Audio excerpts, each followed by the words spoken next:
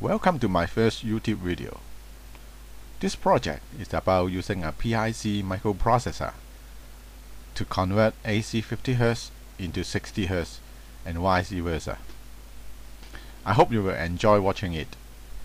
Now, the big question. Can we convert 50Hz into 60Hz? This leads us to the possible solution of generating a 60Hz locked to the AC frequency. Before I move on, you can notice that I have underlined three words at the top of the video. If you want more information about the scheme being discussed, put this three words into Google and check the first reported link. Then there is a possible solution proposed by myself to an electronic forum a while ago. In this uh, solution, I have chosen to use a phase lock loop to multiply the input frequency by 6 to get 600 Hz. The interesting part is the 600 Hz to 60 Hz uh, frequency converter block shown in the bottom right. This conversion method was mentioned in a famous book, The CMOS Cookbook by Don Lancaster. Best of all, no active filter is required. In this slide, the bottom trace is the staircase waveform and the top trace is the output waveform at the junction of the RC filter. But can one do better to do all that using just a simple 8-pin PIC?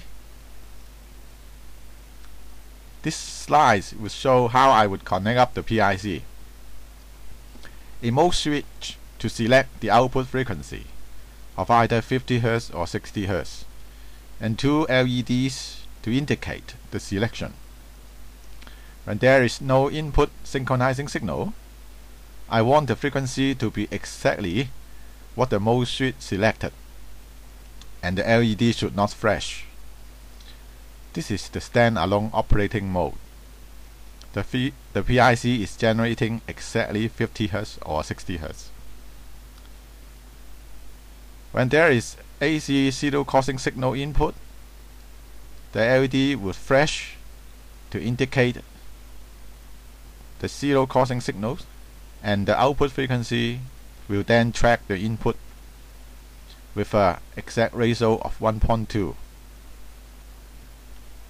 Now by counting both the input and output zero crossing pulses, a single pulse difference will upset this balance and the PIC software can then proceed to correct the error while changing the output frequency to match. Testing and proving it prove rather difficult, however. First, one would need uh, two frequency counters which can display frequency to a resolution of 100 of a hertz. Secondly, one have to have a very stable frequency testing source where one can vary finely by 0.02 hertz. My function generator can't remain stable at this fine resolution and I can't set it every time to the same frequency. Therefore, I have to build one myself using a 12F629, another PIC. I built this testing source to be small so I can power it together on the breadboard and my other project components. This is a comparison of its size to a normal 9 volt battery. The PIC 12F629 is the chip at the top. You can see a slide switch on the bottom left for the 50 on 60 Hz selection and a white calibration button on the right. The frequency output sockets in the center right and two black frequency adjust buttons at top right labeled F plus and F minus.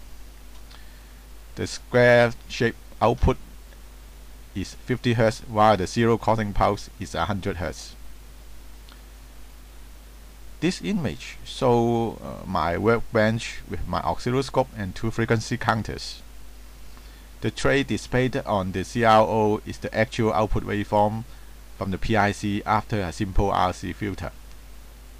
The top counter measures output frequency while the bottom one input frequency.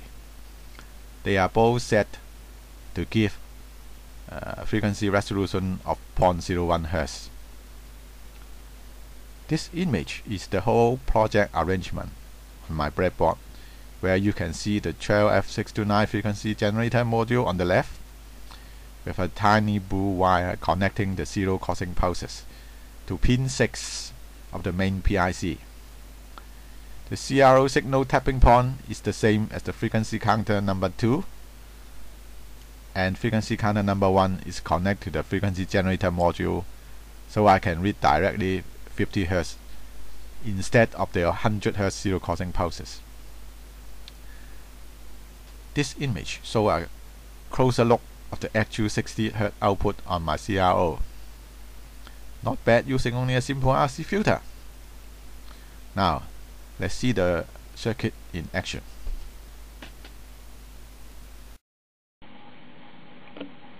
Uh, this is a standalone output test. At the moment, the output is 50 Hz.